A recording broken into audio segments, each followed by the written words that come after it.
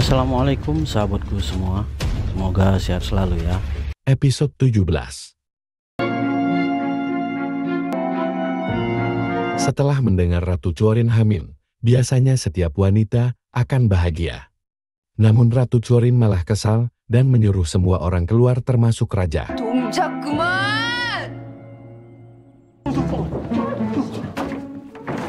Dayang Choi berkata mungkin Ratu Chorin sedang mengalami sindrom kehamilan.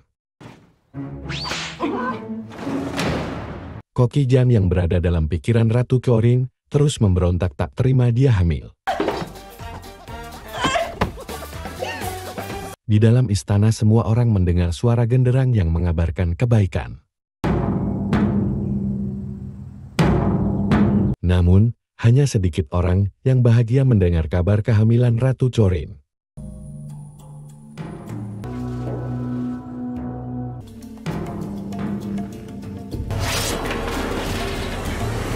Sementara itu ayah Ratu Chorin yang sedang sedih karena hartanya tinggal sedikit. Tersenyum lebar setelah mendengar dari pelayannya kalau Ratu Chorin hamil.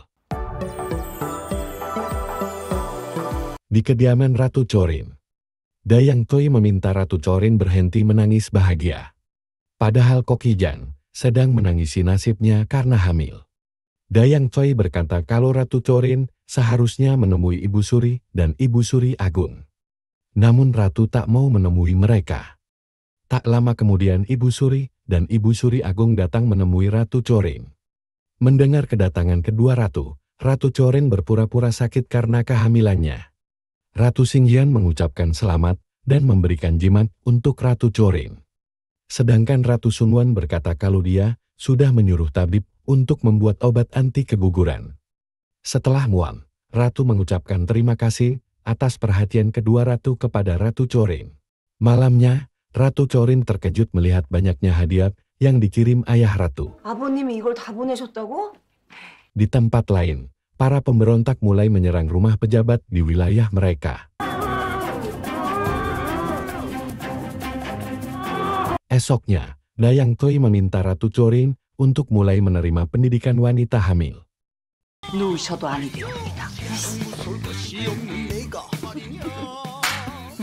Bahkan makan pun tidak boleh berlebihan agar bayinya sehat. Di tempat lain, Salso melaporkan kepada Juagen kalau Kim Byung sudah ditolak Ratu Chorin. Kemudian Juagen menemui Kim Byung lalu menyuruh Kim Byung pulang ke rumah. Di dapur, Ratu Chorin marah kepada kepala Poki ketika melihat anggur bunga pirnya habis. Kepala Koki berkata kalau anggur bunga pir Ratu Chorin sudah dibuang karena basi. Ternyata anggur Ratu Chorin dihabiskan Dayang Choi dan kepala Koki. Karena mereka takut anggur itu akan mengganggu kehamilan Ratu Chorin. Dengan kondisi setengah mabuk, Dayang Choi dan kepala Koki meminta maaf kepada Ratu yang sedang menangis.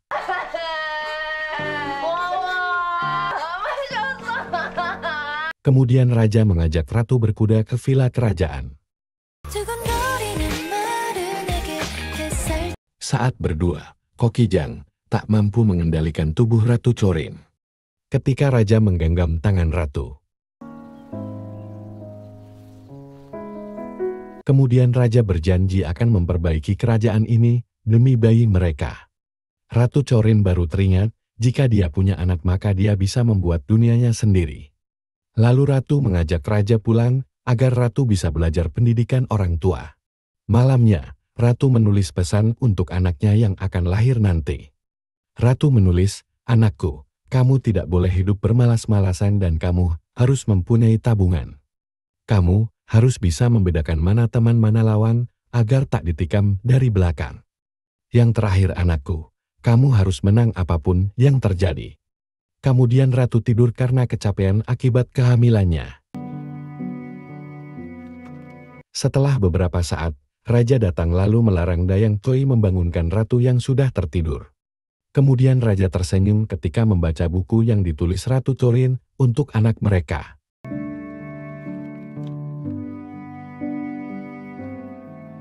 Di markas Raja, Pangeran Yongpyong bertemu dengan mantan prajuritnya Pangeran memberikan buku taktik militer untuk diajarkan kepada para pemberontak yang mendukung raja. Kemudian prajurit itu pergi untuk mengumpulkan lebih banyak orang yang mendukung raja. Esoknya, Ratu Singgen menyebarkan gosip kalau kehamilan Ratu Chorin adalah kebohongan. Karena Ratu Chorin dan raja tidak pernah bermalam bersama-sama. Kemudian gosip itu menyebar ke seluruh istana. 가짜 합궁을 했답니다. Lalu, Ratu Chorin menemui raja dan berkata akan melawan gosip itu dengan kemesraan mereka. Mereka pun mulai bermesraan di depan para pelayan.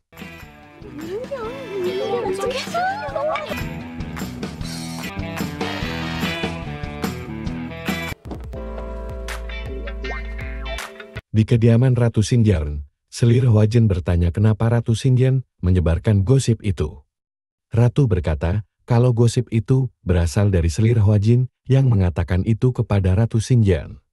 Selir Huajin berkata kalau dia tidak akan berpihak kepada Ratu Xinjiang dan tak mau kehilangan raja seperti Ratu kehilangan suaminya, lalu pergi. Di tempat lain, Ratu Chorin bercerita kepada para selir. Bagaimana dia berhubungan dengan raja di malam hari. Membuat para selir membayangkan dan iri kepada Ratu Chorin. Tak lama kemudian, Dayang Koi dan Hong Yan menghalangi selir Huajin yang datang menemui Ratu. Di kediaman Ratu Chorin. Selir Huajin memberikan anak panahnya sebagai tanda kalau dia mendukung Ratu dan Raja. Melawan orang-orang yang menginginkan Raja dan Ratu mati. Lalu Selir Huajin menemui Raja di kediamannya. Selir Huajin meminta kepada Raja untuk keluar istana. Namun Raja tak mau Selir Huajin menjadi selir yang dibuang Raja. Selir Huajin bersikeras karena dia sudah tak tahan hidup di dalam istana.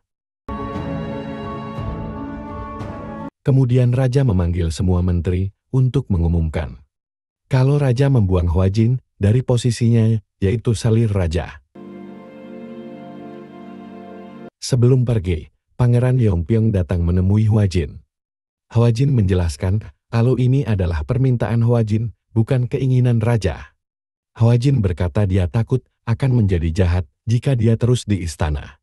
Huajin meminta maaf kepada Pangeran Yeongpyong yang mencintai Huajin. Karena telah memanfaatkan pangeran selama ini. Malamnya, Ratu Xingyan menyuruh pelayannya untuk menyebar gosip. Lalu Ratu Xingyan menemui Ratu Sunwol untuk menyampaikan hal yang sama yaitu anak yang dikandung Ratu Choril bukanlah anak raja, melainkan anak Kim Byong. Kemudian Ratu Sumun memanggil Kim Byong lalu menyuruhnya untuk membawakan kepala ratu ke hadapannya. Mendengar itu, Kim Byong panik lalu bertanya alasan Ratu Sunwon marah kepada Ratu Chorin.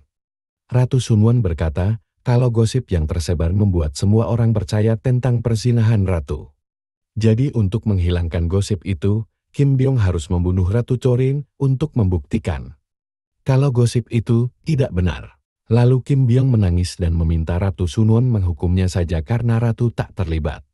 Namun ketika Ratu ingin menyuruh orang lain untuk membunuh Ratu Chorin, Kim Byong berjanji kepada Ratu Sunwon akan mengembalikan tahtanya lagi. Mendengar itu, tentu saja Ratu Sunwon tersenyum bahagia. Kemudian, Kim Byong menemui Raja dan berkata kalau tulisan tangan Raja adalah bukti kalau Raja terlibat dengan pemberontak Donghak. Kim Byong berkata kalau dia tak memberikan bukti itu di hadapan hukum. Karena Kim Byong tahu jika dia menyakiti Raja maka Ratu juga akan terluka. Lalu Kim Byong berkata kalau saat ini Ratu sedang difitnah oleh klan Andong Kim. Dan jika dibiarkan, anak Ratu juga akan ikut difitnah sebagai anak haram. Agar Ratu selamat dari fitnah persinahan, maka Raja harus menyelesaikan pemberontak Donghak. Agar gosip persinahan Ratu bisa ditutupi dengan berita Raja menyelesaikan masalah pemberontak Donghak. Mendengar itu Raja terdiam dan mengikuti perkataan Kim Byong. Kemudian Raja menemui Ratu yang sedang tertidur menunggu Raja. Raja berkata kalau Ratu adalah penenang Raja di saat Raja gelisah memikirkan kerajaan. Lalu Raja menemui Ratu Sunwon untuk menitipkan politik kerajaan sementara dia pergi. Raja juga menitip Ratu dan anaknya agar dijaga kepada Ratu Sunwon. Mendengar itu, tentu saja Ratu Sunwon bersemangat untuk naik tahta. Karena ada rencana tersembunyi lagi di balik kepergian sementara raja. Ketika bersiap untuk pergi, Pangeran dan Byolgam datang setelah mendengar kabar kepergian raja. Pangeran Yeongpyong masih saja menyalahkan Ratu Chorin terlibat. Membuat Raja Choljong marah karena Ratula yang selama ini menolong mereka. Pangeran dan Byolgam sudah tahu kalau semua ini adalah jebakan yang dibuat Kim Byong.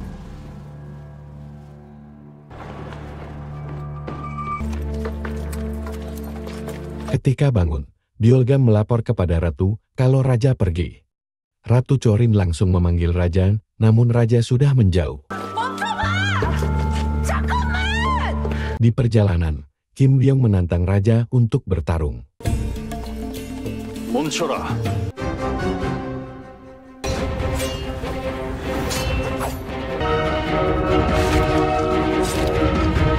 Jangan lupa like, share, komen, dan subscribe. Terima kasih.